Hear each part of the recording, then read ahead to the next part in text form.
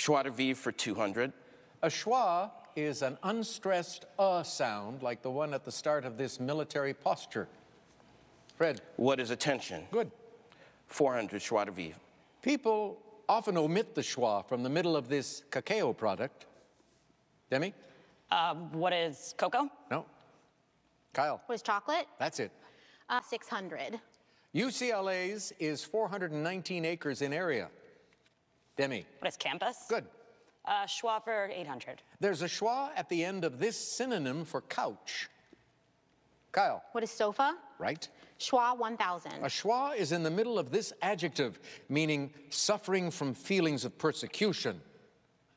Fred, What is a press? no? Demi or Kyle? What is paranoid? Paranoid.